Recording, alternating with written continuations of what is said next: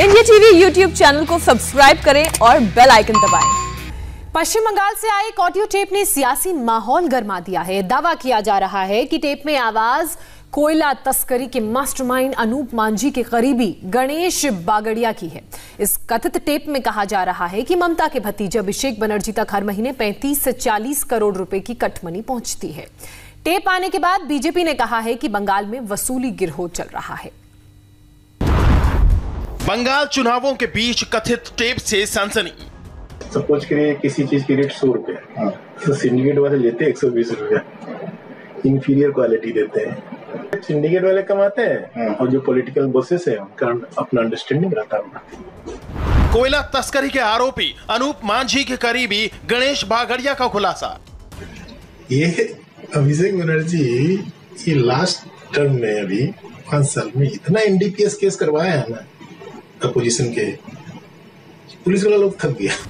हर महीने 35 से 40 करोड़ रुपए की कटमनी कितना मोटा मोटी कितना वहाँ तक पहुँच जाता था?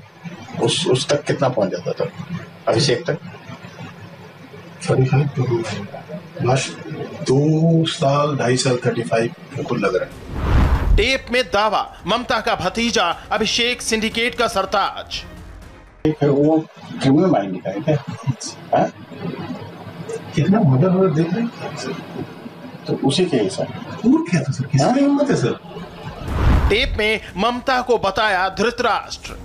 मैडम का ना धृतराष्ट्र होता है ना? धृतराष्ट्र बस मैडम धृतराष्ट्र तीसरे चरण की वोटिंग से ठीक पहले बंगाल में सियासी भूचाल लाने के लिए ये टेप काफ़ी है। इस कथित टेप में ममता बनर्जी की बात है। उनके भतीजे अभिषेक बनर्जी का ज़िक्र है। कट मनी और सिंडिकेट की चर्चा है। बंगाल में करप्शन की बात है। बंगाल टेप्स में दावा किया गया है कि अभिषेक बनर्जी पहले 15 से 20 करोड़ रुपए की प्रोटेक्शन मनी लेते थे। बाद में 35 से 40 करोड़ लेने लगे। कितना मोटा मोटी कितना वहाँ तक पहुँच जाता था? उस उस तक कितना पहुँच जाता था? अभिषेक तक?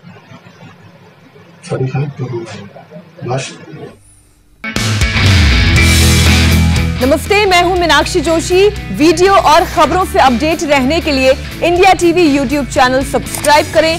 बेल आइकन दबाना ना भूलें। जुड़े रहें इंडिया टीवी के साथ।